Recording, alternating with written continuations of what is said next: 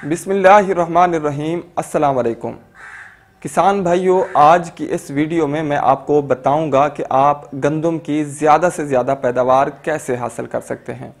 मैं आपसे ये हरगिज़ नहीं कहूँगा कि आप 100 मन पैदावार हासिल करेंगे 120 मन पैदावार हासिल करेंगे। लेकिन ये बात जहन नशीन कर लें, अगर आपने इन अवामिल को जहन नशीन कर लिया, जो मैं आपको बताने जा रहा हूँ तो यकीन जानिए आप गंदम की भरपूर पैदावार हासिल करेंगे।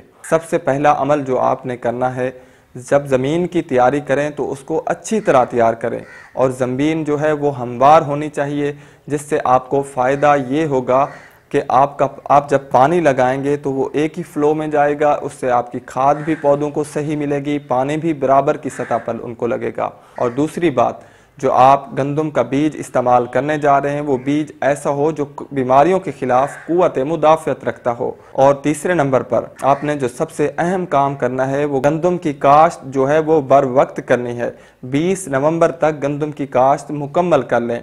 अगेती और पिछेती के चक्कर में हरगिज़ ना पड़ना। बर वक्त गंदम की काश्त कीजिए, क्योंकि अगर दिसंबर में दर्जा हरत मामूल से ज़्यादा हो जाता है, या फिर मार्च और अप्रैल के महीने में मामूल से दर्जा हरारत बढ़ जाता है।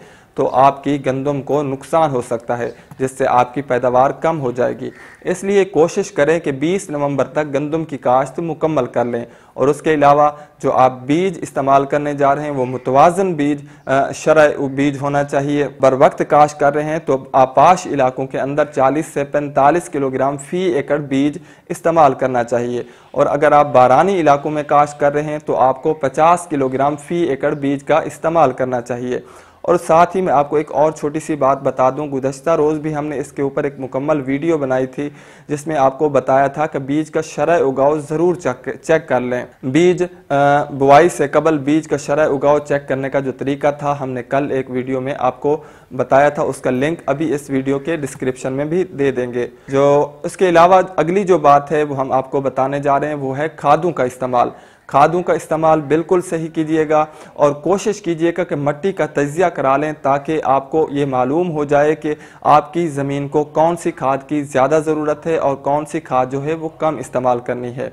उससे अगला अमल जो है, आपने पानी को बर वक्त इस्तेमाल करना है, क्योंकि पानी, बाज़ अवकात बाज़ स्टेजेस ऐसी होती हैं गंदों में जब आप पानी की कमी करेंगे तो उससे आपकी पैदावार इंतहाई कम हो जाएगी।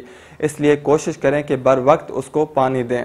और जो सेकंड लास्ट चीज़ है, वो आपने अपने खेत के अंदर गाहे बगाहे चक्कर लगाते रहना है। कीड़ों और बीमारियों का तदारुक जो है, वो लाजमी करना है। अगर आप अपने खेत में चक्कर नहीं लगाएँगे तो आपको मालूम ही नहीं होगा कि आपकी फ़सल को कौन सी बीमारी हमला कर रही है या बीमारी नहीं हमला कर रही। तो इसलिए अपने खेत के अंदर गाहे बगाहे चक्कर ज़रूर लगाते रहिएगा। ताकि आपको बीमारियों के हवाले से मालूम हो और आप उसका बर वक्त तदारुक कर सकें। और सबसे आखिरी अमल जो है, वो आप ये जहन नशीन कर लें कि आपने गंदम की कटाई और गहाई का अमल जो है, वो बर वक्त करना है। अगर आप किसान भाइयों, इन अवामिल के ऊपर अमल करेंगे तो यकीन जानिए आप भरपूर पैदावार हासिल कर सकेंगे।